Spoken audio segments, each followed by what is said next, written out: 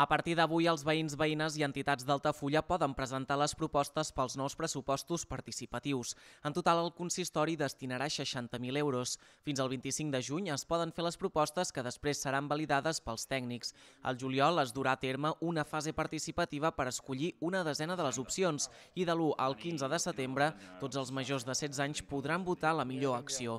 La idea és que a finals d'aquest mateix any es puguin començar a executar les opcions guanyadores. Per trobar més informació es pot consultar al portal altafulla.cat barra decidim. Amb aquests primers 60.000 euros, eh, una quantitat força important doncs, per, per les quantitats que mou l'Ajuntament d'Altafulla, doncs, eh, que la gent pugui empoderar-se, la gent pugui començar a prendre decisions de manera directa o, si més no, doncs, eh, coordinada amb la resta de, de veïns i veïnes.